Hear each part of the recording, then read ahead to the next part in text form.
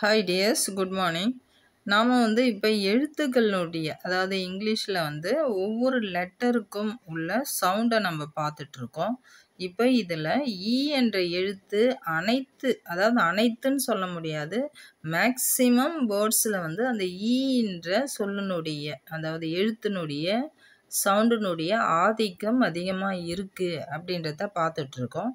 இப்போ எந்தெந்த லெட்டர்ஸில் அந்த ஈனுடைய ஆதிக்கம் எப்படி வந்து வருது அப்படின்றத நம்ம நல்ல பேசிக்லேருந்து நம்ம தெரிஞ்சுப்போம். அப்போ தான் நம்மளுக்கு ரீட் அண்ட் ரைட் அப்புறம் ஸ்பீக் அது எல்லாத்துக்கும் நமக்கு ஈஸியாக இருக்கும். இப்போ இந்த ஹெச்ன்ற லெட்டரை பாருங்கள் ஹெச் சத்தமாக சொல்லுங்கள் ஹெச் இப்போ அதுக்கான வார்த்தை ஹை கோர்ட் இந்த சொல்லில் பாருங்கள் ஹைன்ற வார்த்தையில் ஹெச்ன்றது தான் கடைசியாக முடியுது. ஆனால் நம்ம சொல்கிறது எப்படி உச்சரிக்கிறோம்? ஹை. ஹை. அந்த லாஸ்ட்டில் பாருங்கள் ஈ என்ற ஒலியோடு முடியுது. நல்லா வாயில் உச்சரித்து பாருங்கள் ஹை. ஹை. சொல்லி பாருங்கள் அந்த ஈ என்ற எழுத்தோடு தான் ஐ மீன் அந்த சவுண்டோடு தான் முடியுது. இப்போ இந்த ஹை என்னும் சொல்லலுடைய ஐ என்ற எழுத்து ஈ என்ற ஓசையோடு முடியுது. அடுத்தது ஜி என்ற எழுத்தும் ஈ என்ற ஓசை பெற்று முடியுது. High high. அந்த ஜீயை வந்து அது வரைக்கும் பாருங்கள் அந்த ஜீன்ற எழுத்தும் வந்து ஈன்ற ஓசையில் தான் முடியுது. இதனுடைய கடைசி எழுத்து ஆனால் ஹெச் என்பது தான். ஆனால் அதனுடைய ஒலி வந்து ஈ என்ற ஒலிக்குள்ளே அப்படியே அடங்கிடுது. நல்லா சொல்லி பாருங்கள் ஹை ஹை ஹை. அந்த ஈ ஒலியோட முடியுது பாருங்கள் அடுத்தது நம்ம ஜே என்ற அந்த லெட்டரை பார்க்கலாம். இப்போ ராஜ் அப்படின்னு சொல்லி பாருங்கள் ராஜ். அந்த லாஸ்ட் எழுத்துல ஜேன்னு வந்திருக்கு. இப்போ ஜேன்று நம்ம உச்சரிக்கிறோம் இல்லைங்களா? இப்போ ஜேவை வந்து தனியாக சொல்லும்போது ஜேன்னு சொல்கிறோம் ஆனால் அந்த ராஜின்ற வார்த்தையில் அந்த ஜே வரும்போது என்ன சவுண்டில் வருது? இஜ்ன்ற சவுண்டில் தான் வருது. இஜ் இஜ் சொல்லி பாருங்கள் இஜ் ராஜ். இஜ் இப்போ தனியாக சொல்லும் பொழுது நம்ம இந்த இஜ் என்பதை நம்ம தனியாக சொல்லும்பொழுது அதில் ஈன்ற ஒலி வருதா பாருங்கள் சொல்லி பாருங்கள் வாயில். இச். ஈச் சொல்லும் பொழுது அந்த ஈஜ்ன்றதுல ஈ முதல்ல வருது பாருங்கள் இப்போ ராஜ். ரா ஈச் அந்த ஜேன்றது தனியாக சொல்லும்போது நம்ம ஜேன்னு சொல்கிறோம் ஒரு வார்த்தையோடு வரும்போது அந்த இஜ் என்ற ஒலியில் தான் அது வருது. அப்போ அந்த ஜேயில் அந்த e ஈன்ற சவுண்டினுடைய ஆதிக்கம் இருக்குது அப்படின்றத நம்ம பார்க்குறோம். அடுத்தது நம்ம கே கேன்ற லெட்டரில் வாக் டாக் இந்த ஆங்கில சொற்களை நீங்கள் வந்து சொல்லி பாருங்கள் வாக் டாக் இந்த சொல்லை வந்து கேன்ற எழுத்த கவனிங்க. கே அப்படின்னு சொல்லும் பொழுது என்ன சவுண்டில் வருது? இந்த வாக் டாக் அப்படின்னு சொல்லும்பொழுது கேன்றது இக்குன்ற ஒலியை நமக்கு கொடுக்குது. நல்லா சொல்லி பாருங்கள் இங்கிலீஷ் படிக்கணுன்னா நம்ம வாய் விட்டு நம்ம வார்த்தைகளையும் எழுத்துகளையும் சத்தமாக உச்சரித்து பார்த்தோம்னா தான் அந்த சவுண்டு வந்து நமக்கு நல்லா புரியும். இப்போ இதில் கேன்றது என்ன சவுண்டில் வருது? இக்குன்ற ஒலியில் தான் நமக்கு வருது. இப்போ வாக் டாக் ஆனால் இந்த இக்குன்னு சொல்லும் பொழுது அந்த இக்குக்கு முன்னாடியும் உங்களுக்கு என்ன ஒலி வருது? ஈ ஒலி வருது பாருங்கள் இக். இக். வருதுங்களா? என்ன ஒலி வருது? ஈ ஒலி தான் வருது. இப்போ அடுத்த இன்னொரு லெட்டரும் நம்ம பார்த்துடலாமா? ஓ என்னும் எழுத்து பல்வேறு விதமான ஒலிகளை கொண்டது. அது நமக்கு எல்லாம் தெரியும். அ ஆ ஓ ஓ ஔ போன்ற பல்வேறு விதமான ஒலிகளை அந்தந்த சொற்களுக்கு ஏற்ற வகையில் இவ்வெழுத்து பெறுகிறது. இப்போ பாருங்கள் இந்த ஓன்றது என்னென்ன ஒளியில் வருது அப்படின்றத பார்க்கறதுக்கு தான் இது. இதை நீங்கள் அடிப்படையை நல்லா தெரிஞ்சுக்கிட்டிங்கன்னா இங்கிலீஷில் நீங்கள் நல்லா எக்ஸ்பர்ட்டாக ஆகலாம். அதுக்கு தான் நான் பேசிக்லேருந்து சொல்லி கொடுக்குறேன். நீங்கள் கொஞ்சம் இதை கவனமாக படிங்க. இப்போ சொல்லி பாருங்கள் சன் சன் ஆ ஒளி வருதா? இந்த ஓக்கு வந்து ஓ தான் லெட்டர் வருது. ஆனால் சவுண்டு என்ன வருது பாருங்கள் ஆ சன் சன் சொல்லி பாருங்கள் ஆ சவுண்டு வருதா? அடுத்தது பாருங்கள் ஆக்ஸ் ஆக்ஸ் ஆ சவுண்டு வருது பாருங்கள் அந்த ஓக்கு இன்னொரு சவுண்டு என்ன வருது? ஆ ஆக்ஸ் ஆக்ஸ். அடுத்தது பாருங்கள் one one one. O sound வருதா? ஒன். அடுத்தது பாருங்கள் ஓப்பன் ஓப்பன். ஓ சவுண்டு வருது பாருங்கள் ஓ. அடுத்தது கௌ. கௌ. அதில் அவு சவுண்டு வரும். லெட்டர் வந்து ஒரே லெட்டர் தான். அது என்னென்ன சவுண்டில் நமக்கு ஒலிக்குது? ஆ ஆ ஓ ஓ ஔ.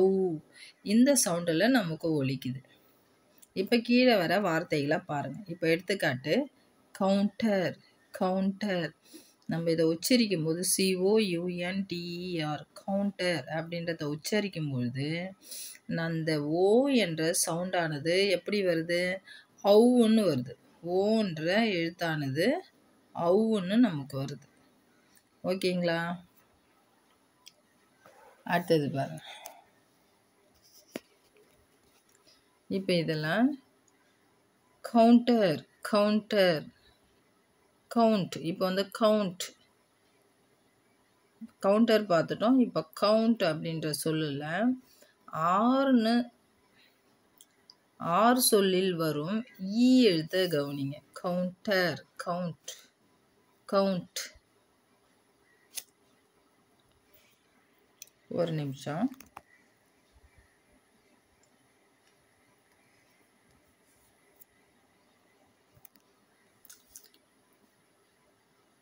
கவுண்ட் ஆறு இன்னும் சொல்லலை. ஈ e எழுத்தை கவனிங்க. இந்த ஈ எழுத்தானது ஓ என்ற எழுத்தின் ஒலியான ஆ ஒலியை தான் பெற்றுக்கொண்டது. இல்லையா? கவுண்டர் கவுண்டர் கவுண்டர் இந்த கவுண்டர் அதில் ஆறு என்னும் சொல்லில். ஈ e எழுத்து வருதுங்க எர் அப்படின்னு சொல்கிறல கவுண்டர் இந்த ஈ எழுத்தானது ஓ எழுத்தினுடைய ஒரு ஒலியான ஆ ஒலியை தான் பெற்று வந்துள்ளது. இப்போ சொல்லி பாருங்க கவுண்டர் இது சொல்லல டர் என்பதை டர் என்றதை நாம் உச்சரிப்பதில்லை. எப்படி சொல்லலாம்? டர் இப்போ டிஇஆர் என்றதை வந்து நம்ம டெர்ன்னு தான் நம்ம சொல்லுவோம். சொல்லணும். சொல்கிறதில்ல நம்ம. டர் அதை எப்படி சொல்கிறோம் டர்ன்னு தான் சொல்லணும். கவுண்டர் கவுண்டர் அப்படின்னு நம்ம சொல்லல. கவுண்டர் அப்போ அந்த டிஇஆர் என்ற எழுத்தினுடைய சவுண்டு நமக்கு டர் தான்.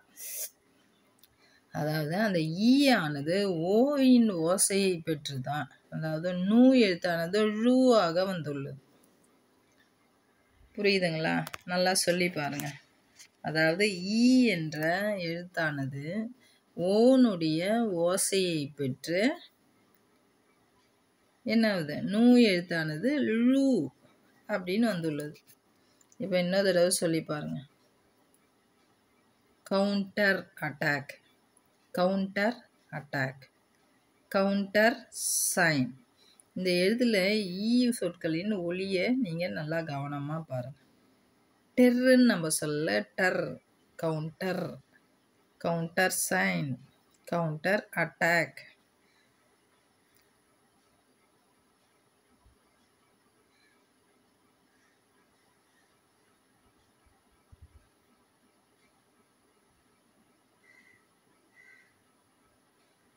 அடுத்தது பார்க்கலாமா? கியூ இந்த கியூ சொல்லி பாருங்க. கியூ கியூ கியூ இதில் இக்கின்னு எழுத்துக்கு முன்னாடி கியூ கியூ ஈ ஒலி சவுண்டு தானாக வருது பாருங்க. சொல்லி பாருங்க. Quick quick Q Q Q இதில் இக்கு என்னும் எழுத்துக்கு முன்னாடி ஈ ஒலி சவுண்டு தானாகவே வருது பாருங்க. சொல்லுங்க. இக் இக் E K.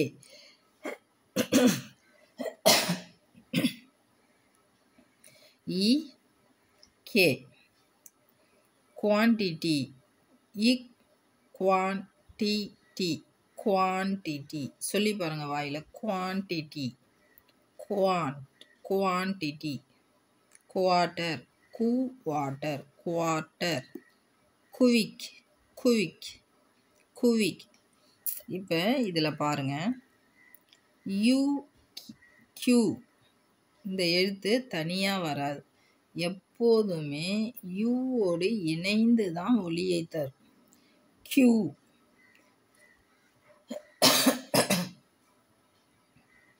கியூ. ஹியூ சொல்லி பாருங்கள் இக்கு ஊவில் முடியுது பாருங்கள் க்யூ இக்கு வருது ஊ வருது. க்யூ அதாவது நல்லா ப்ரொனவுன்ஸ் பண்ணி பண்ணி பார்க்கணும். இதில் வந்து நம்ம வந்து வெக்கப்படவே கூடாது. நமக்கு ஒரு விஷயம் தெரியலன்னா அது எவ்வளோ வேணாலும் நம்ம இறங்கி போய் நம்ம அதை கற்றுக்கலாம் அடுத்தது ஆர் பாருங்கள் ஆர். ஏர். வார். இந்த எழுத்தில் ஆறு எழுத்த கவனிங்க. ஏர் வார் ஏர் வார். இந்த ஏ எர் வா இர் என்படத்தில் ஒழிக்கும் பொழுது அந்த ஈ சவுண்டு வருதா? இயல்பாகவே வருது பாருங்க. இர் சொல்லி பாருங்க. இர் ஈ வருது பாருங்க. இர் வருதா? இர். ஈ. அடுத்தது எஸ்ஸுனுடைய எழுத்து அதனுடைய ஒலியை நம்ம பார்க்கலாம். இந்த எஸ் எழுத்தில் எஸ் ஒலி வந்து நுணுக்கமாக இருக்கிறத நீங்கள் பார்க்கலாம். எஸ் என்பதையும் ஒய்எஸ் என்பதையும் ஒய் வந்து இதில் பாருங்கள் சைலண்ட்டாக தான் இருக்குது. ஒய் என்ற ஒலியை நம்ம இங்கே எதுவுமே கொண்டு வரல. சொல்லி பாருங்க ஒரே விதமான ஒளியை பெறுவதை நாம் வந்து உணரலாம். எஸ் எஸ் இப்போ இங்கே பாருங்கள் ஒய்இன்றத இ எஸ்ன்றது எஸ். இப்போ ரெண்டும் சேர்ந்து இஎஸ் எஸ். இந்த எஸ் எஸ். சொல்லி பாருங்கள் இ சவுண்டு வருதா? S S. Y E E S S. Y E S S. S. அதாவது இ வந்து முன்னாடி ஒழிக்கும் எஸ் அடுத்தது பாருங்க. யூ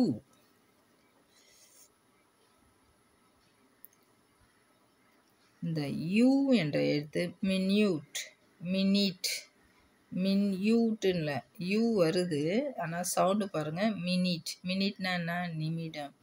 இந்த சொல்லில் வர யூ என்னும் எழுத்து வந்து e இ சவுண்டு வருதா அப்படின்றத கவனிச்சு பாருங்கள் சொல்லி பாருங்கள் மினியூட் மின் யூ அப்படின்னு நம்ம சொல்கிறதில்ல minute it it E sound தானே வருது. Minute mini it E sound வருது பாருங்க. இட் மினிட் மினிட் மினிட் நம்ம இன்னொரு தடவை இதை நீங்கள் நல்லா நீங்கள் பண்ண. மினிட் நிமிடம். இந்த சொல்லில் யூ என்னும் எழுத்து வந்து ஈனுடைய ஒளியை பெற்று வருது. அப்படின்றத நம்ம பார்த்தோம். யூ அப்படின்னு நம்ம உச்சரிக்கல. மினியூட் அப்படின்னு நம்ம சொல்லலை. எப்படி சொல்கிறோம் மினி இட் மினிட்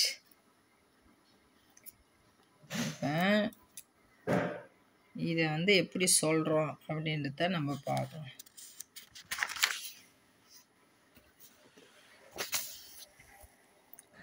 இந்த இதில் ஒரு அதிசயம் இருக்குது பாருங்கள் மினியூட் என்னும் ஆங்கில சொல்லுக்கு நிமிடம் என்று பொருள். அது நம்ம எல்லாருக்கும் தெரியும். இரு மொழி சொல்லிகளிலும் ஒரு அதிசயம் ஒளிஞ்சிருக்கு. என்ன அதிசயம்னு அது நம்ம பார்க்கலாமா? அதாவது மினியூட் மினிட் சொல்லுக்கு நிமிடம் என்ற பொருள். அதுபோல் மினியூட் மினியூட் மினியூட் ஒளிந்து கொண்டு உள்ளது. இப்போ மினியூட் என்ற சொற்களை வந்து முன்னும் பின்னும் மாற்றி எப்படி வேண்டுனாலும் நம்ம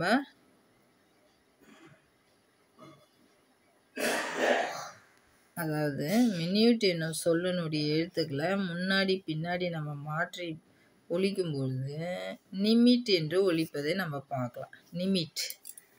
அதுபோல் நிமிடம் என்பதை கவனித்து பாருங்கள் இந்த நிமிடம் என்பதை நிமிட் அம் என்று பிரிப்போம். இப்போ முதல்ல உள்ளது நிமிட். இந்த நிமிட் என்பதை முன்பின் மாற்றி போட்டால் மினிட் என்று வருது இல்லையா?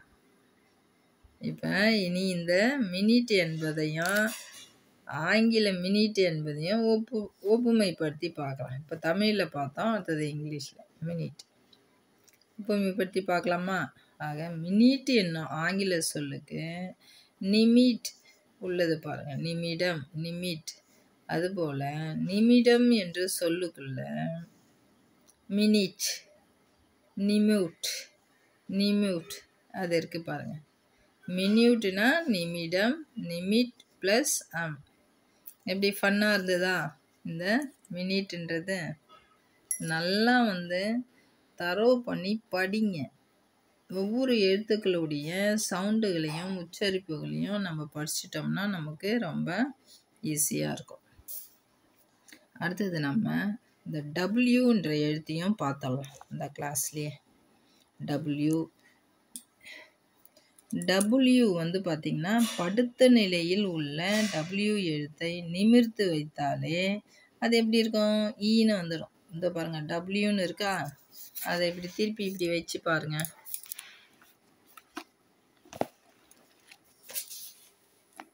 எப்படி வருது? அந்த இ அப்படின்ற அந்த ஸ்டைல் வந்துட்டு பாருங்க. வருதா? டபிள்யூ இ இப்போ அடுத்தது. மேலும் இந்த வி எழுத்துக்குரிய வா ஓசையை தான் இந்த டபிள்யூ பெறுகிறது. இப்போ பெரும்பாலும் வி எழுத்து இருக்கு இல்லையா? வி சொல்லுங்க. வி வியில் இருக்க அந்த எழுத்து டபுள்யூ டபுள்யூ வந்து இந்த வி எழுத்தினுடைய ஓசையை தான் பெறுது. இப்போ எடுத்துக்காட்டு இந்த வார்த்தைகளை பாருங்கள் வால்வ் வால்வ் இது வந்து வி சவுண்டு தான். டபிள்யூ சவுண்டில் நமக்கு வரல. இல்லையா? Valve vast walk war. War இது மட்டும் டபிள்யூ சவுண்டில் நமக்கு வருது. வார் வாட்டர் இந்த வா இந்த வா என்பது யூ ப்ளஸ் ஆ என்ற இரண்டு எழுத்துக்கள் சேர்ந்த கூட்டெழுத்து சிலவு. இந்த யூ என்பதை வந்து எப்படி நாம் உச்சரிக்கிறோம்? யூ என்று தான் உச்சரிக்கிறோம். E plus E E plus கிடையாது. E. இ யூ என்ற யூ என்று தான் உச்சரிக்கிறோம் இ இது தமிழ்லையே இது இங்கிலீஷில் மேலும் சில அதிசயங்களை நம்ம பார்க்கலாம் என்ன அதிசயம் இருக்குது சொல்லி பாருங்க. நவ் இப்பொழுது நவ். ஹவு எப்படி? ஈ வருது பாருங்க. இப்பொழுது ஈ வருதா? நவ் என்பதனுடைய கடைசி எழுத்து டபிள்யூ தான். ஆனால் இந்த நவ் என்பதற்கு தமிழ் பொருளை நம்ம பார்க்கும்பொழுது இப்பொழுது வருது. ஹவ் என்ற சொல்லினுடைய கடைசி எழுத்து வந்து என்ன? டபுள்யூ இந்த ஹவு சொல்லுக்கு தமிழ் பொருள் காணும்போது என்ன வருது? இப்படி அப்படின்னு வருது. ஆக இந்த டபுள்யூ என்பதற்கும் இ என்பதற்கும் நெருங்கிய தொடர்பு இருக்குது இதுவரை நம்ம கூறிய ஆதாரங்களை அடிப்படையில் பார்த்திங்கன்னா இங்கிலீஷ் எழுத்துக்கள் இருபத்தி ஆறையும் உச்சரிப்பின் அடிப்படையில் ஈ எழுத்து ஆட்சி செய்கிறது என்பது தான் உண்மை. இதை நீங்கள் ஒத்துக்கிறீங்களா? சரி. இது நம்ம ஃபுல்லாக இன்றைக்கி இதை முடிச்சிடலாம். அடுத்தது நம்ம இப்போ அறிஞர் பெருமக்கள் இதை ஆராய்ந்து வேணால் நீங்கள் பாருங்கள் இங்கிலாண்ட் இங்லாண்ட் இன்லேண்ட். ஈ வருதா நம்ம உடம்புல பெரும்பாலான நலம் காக்கும் உயிர் சுரப்பிகள் எல்லாம் இருக்குது அவற்றில் வந்து உறுதுணையாக இருப்பது நீர்மம். அவை நம்ம உடம்புல எப்பயுமே வந்து மறைவாக இருந்து நமக்கு ஹெல்ப் பண்ணும். இந்த சுரப்பிகளுக்கு கிளாண்ட் என்று பெயர். கிளாண்ட் அப்படின்னா என்ன? சுரப்பி. பியூட்ரி சுரப்பினா பியூட்ரி தைராய்டு. இப்போது இந்த விளக்கத்தின் அடிப்படையில் இங்கிலீஷ் மொழியினர் வசிக்கும் இங்கிலாந்து நாட்டின் பேரை கவனிங்க. இங்கிலாந்து. அந்த சொல்லுக்குள்ள அந்த கிளாண்டு சுரப்பி இருக்கு பாரு. கிளாண்ட் அந்த கிளாண்ட் எது தெரியுமா? அந்த e ஈ என்றது தான் எப்படி வந்து நம்ம உடம்புல அந்த தைராய்டு சுரப்பி பியூட்ரி சுரப்பிகள் நம்ம உடம்பு பாதுகாக்குதோ அந்த மாதிரி ஆங்கிலம் என்ன மொழியில் இந்த ஈ என்ற லெட்ரு வந்து ஆளுமை செய்து இ இந்த லெட்டர் பாருங்கள் இ என் இந்த என்னன்னு உச்சரிக்கும் போது கூட இ வருது பாருங்கள் கிளாண்ட் ஜி லேண்ட் லேண்ட் இப்போ இதில் சொல்லி பாருங்கள் England. E N G L A N D E gland N gland புரியுதுங்களா? இங்கிலீஷ் மக்களின் நாடு இங்கிலாந்து. அவங்க பேசுகிற மொழி இங்கிலீஷ். மக்களின் பெயரும் இங்கிலீஷ். அவர்களின் கிளாண்ட் ஈ. எழுத்தின் இணையற்ற ஆளுமை இது. எழுத்தினுடைய இணையற்ற ஆளுமை இது. இந்த வகுப்போட நம்ம அந்த இ என்ற லெட்டர்ஸ்னுடைய ஆளுமை எந்தெந்த எழுத்தில் எப்படி வருதுன்றத பார்த்துட்டோம். நெக்ஸ்ட் கிளாஸில் இன்னும் கொஞ்சம் நம்ம டீப்பான விஷயங்களை பார்க்கலாம். தேங்க்யூ